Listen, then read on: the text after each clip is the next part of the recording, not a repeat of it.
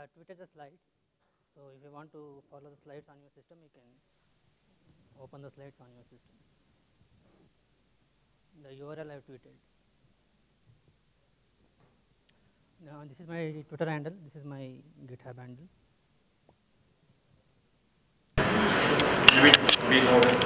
Okay.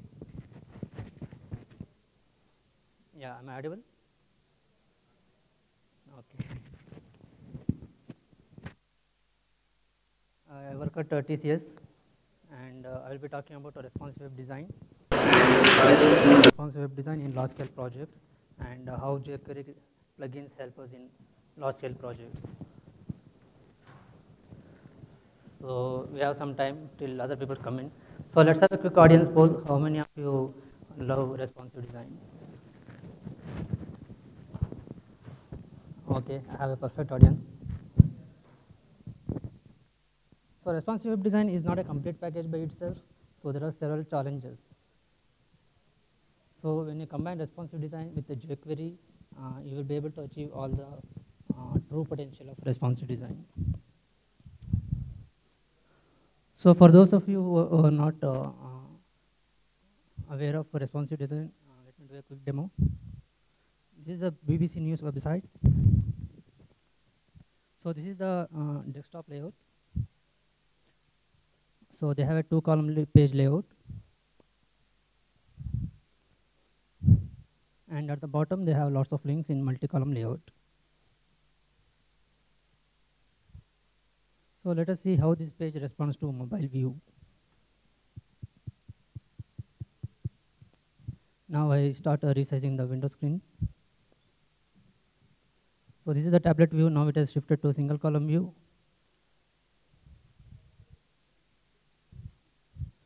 Uh, you resize further. This is the mobile view.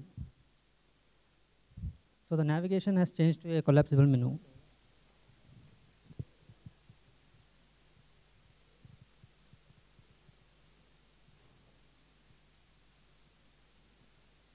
So this is responsive web design and on a large scale project like this, we use several jQuery plugins to make it work.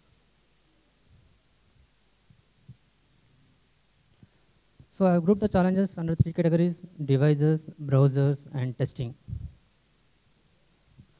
And at the center of this is jQuery, so we will see how jQuery comes to our rescue.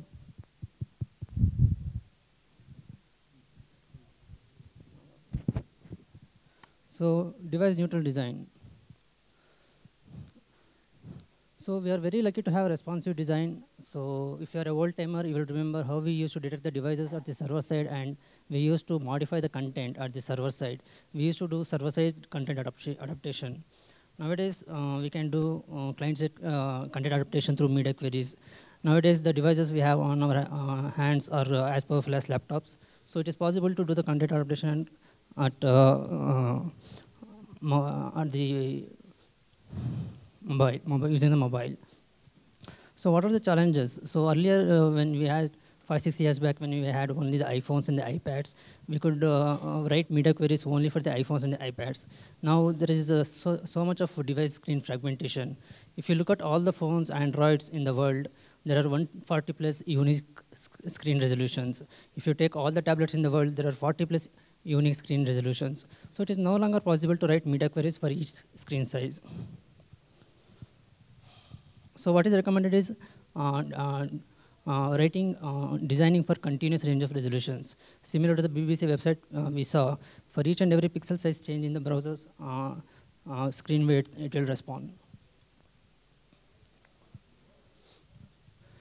So we saw that uh, we can follow device neutral design for uh, user uh, interface. What about user experience? You cannot ignore users device specific features like swipe navigation, pop-up keyboard, keyboards, tap to call, zoom, and print support. So for mobiles, you will need a mobile menu. For that, we can use the jQuery plugin, slider.js.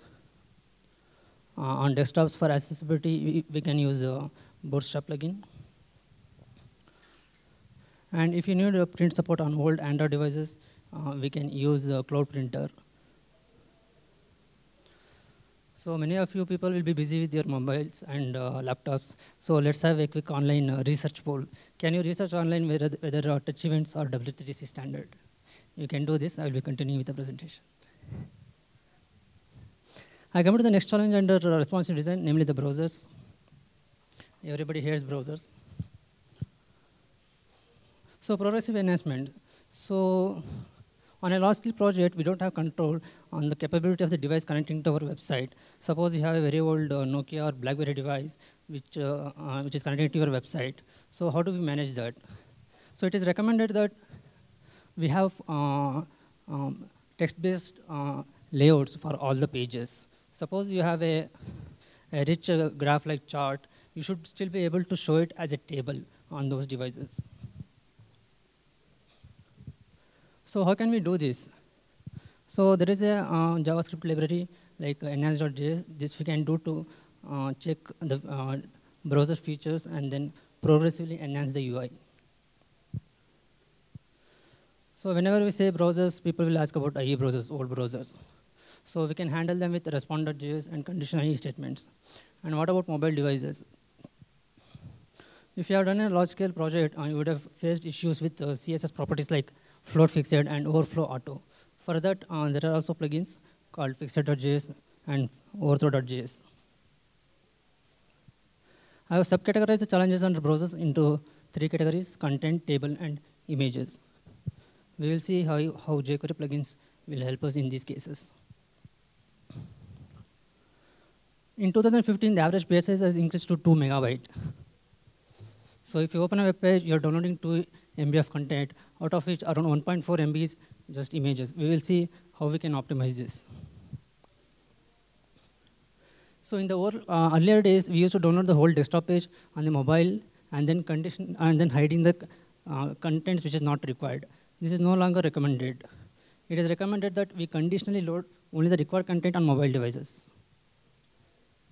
So how can we achieve this? So there are several groups uh, uh, which have done already this, and they have shared their plugins. So through this, we can conditionally load only the required CSS and JS and mobile on mobile devices.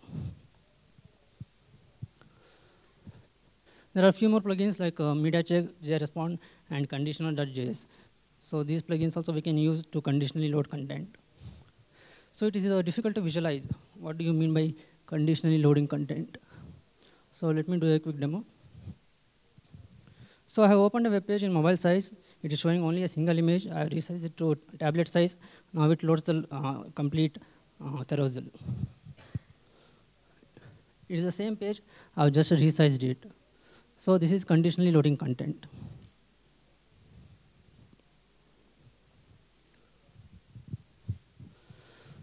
So images. So if you open any web page, uh, we can categorize the image content in that page into two categories, namely the navigation images, left arrow, right arrow, all those things, and the photos. It is recommended that you convert all the uh, navigation images into SVG sprites. So what about photos? Responsive design is all about percentage. Photos are fixed size width. It is all about pixels. So how do we handle it? Let us see. So nowadays, uh, we have a new format called WebP. So most of the people are aware of it, I think. So if you use that, we get a 40% reduction in image size. So earlier we saw, saw that average page has uh, 1.4 MB image content. So if you use WebP, you can reduce it to 0.8 MB. So how to uh, uh, start using WebP today? So if you use a picture element, uh, there is a type attribute. So using uh, type attribute, we can deliver both WebP and older formats. If there is a new browser, it will take, if it, it will download only the WebP images. So after taking care of uh, WebP images, suppose I don't want to deliver uh, desktop size WebP image to mobile device. How to do that? So in picture element, there is a new attribute called media. So here you can start writing media queries. And based on the media query, the browser will download. So if I open this web page on a uh, desktop with a screen size more than 650 pixels, it will download only the large image. So if I resize the window to below 650 pixels, it will download the medium image. So how can you start using this today? You can use a jQuery plugin called uh, Pixity. It will do the same things as uh, picture element. So from uh, 0.8 MB, you can start delivering only 0.5 MB images to mobile devices. So let me do a uh, demo again.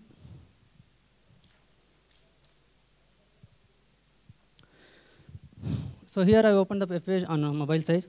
I uh, started uh, Pixity, it has downloaded a small image.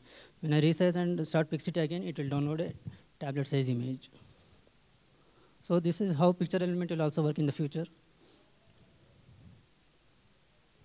How are we doing on time? I think we're behind schedule. Yeah, images of plugins. On a large scale project, you might have a uh, uh, 10 plus breakpoints. So you can't start writing 10 media queries and it will be very time consuming and you cannot generate 10 images. So what can you do? You can use the image resizer plugin. It is a node module. So it is developed by BBC website. So using this, it will automatically resize the images to all, all the breakpoints used in your website. Apart from plugins, we can also use polyfills, source set polyfill, and Picturefill. So if you have carousels on your website, if you want to make it uh, responsive, you can use Owl Carousel. For videos, uh, there is a plugin, uh, fitvideos.js. Uh, what about infographics? I was just doing some online research, and it is almost impossible to make infographics uh, responsive. So welcome to SVG. So here around 10 sections of a uh, infographic are layered around a wheel. This is the tablet view. Now I start resizing the content. Uh, just watch this space. This will rearrange. For mobile view, it has come here. So using the concept of uh, timeline, we, start, we can interactively display all the contents of an infographic, one section at a time. So it is rotating around the wheel, and uh, it is displaying the content at the top.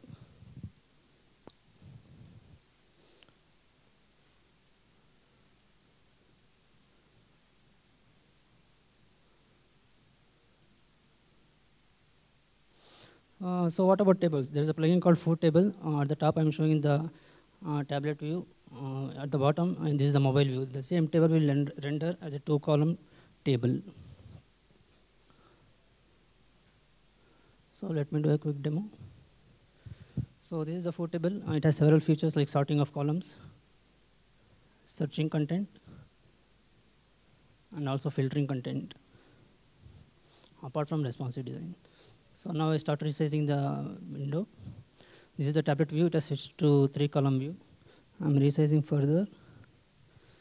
It is showing the two column view. When you click on the plus sign, it shows all the non-key column content. So nothing is impossible, so you have to spend time to make responsive design work for all the components. So this is another online research poll. You can research whether viewport meta tags are W3C standard. Uh, this is the third challenge under responsive design testing. So on a developer system, you can use a combination of Phantom.js and Casper.js this, uh, to check UI uh, on developer systems. Suppose you have a mobile device that you cannot connect to a system to check the errors. You can use jsconsole.com. They provide a library. You can embed this library in your web page once this is done, uh, you can connect to your uh, mobile page DOM from an another browser on your desktop. Suppose you have your own lab. Suppose you have 10, 10, 10 plus devices and you want to check 10 pages on those 10 devices. It will take, you have to do test 100 times. How can we avoid this? We can use a remote preview. So basically here, uh, if you navigate a particular URL on the primary device, on all the secondary devices, the navigation happens. The other option is community sharing. So if there is any company who is sharing their la uh, la uh, lab, you can visit their lab and do the testing. The final option is a subscription option. So you can take monthly subscription. they provide all combination of browsers and platforms. So we had been doing several uh, responsive projects, and we came out with a framework. It is a four-step uh, framework. First stage, uh, first stage is formulate. Second step is reimagine, redesign. Third step is fulsome approach. And fourth step is digitally delighting the customer.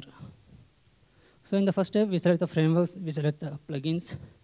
In the second step, we come out with information architecture and the UI markups for uh, all the devices. And responsive design will fail very good uh, if you don't take a wholesome approach to the project. We have to come out with a automated testing plan. If we do all this, we can delight the customer with a SEO-friendly website and universal access. Uh, this is the final poll. Uh, do media queries inside iframes detect real screen size of the parent document? You can develop a test page and check it out. Uh, any questions?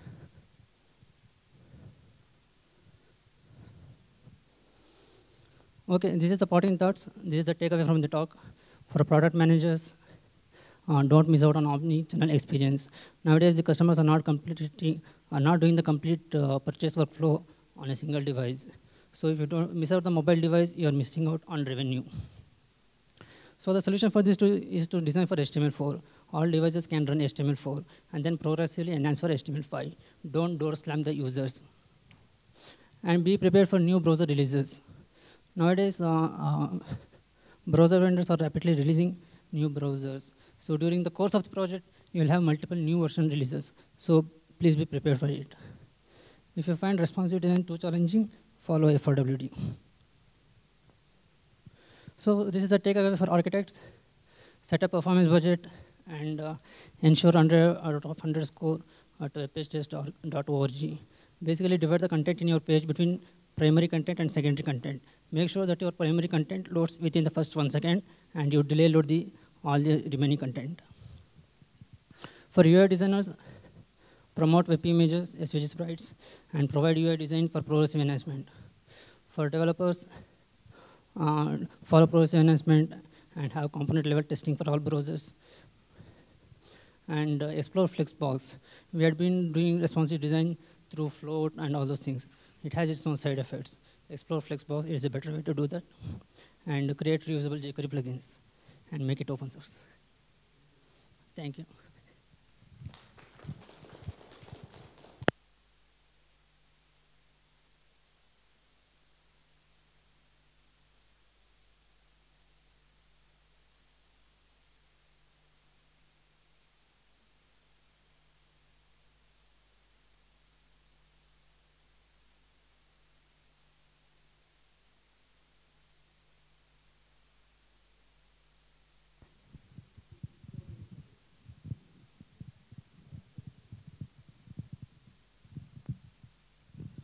So uh, it depends on the complexity of your project.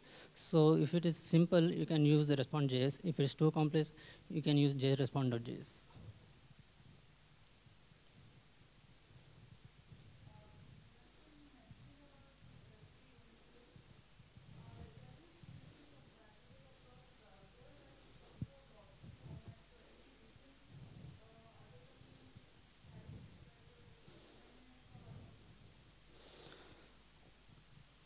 Uh, I am recommending only from the size perspective.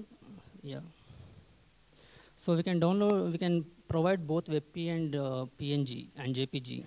If the mobile is capable of downloading, uh, rendering WebP, it will download WebP. Otherwise, it will download PNG and JPG.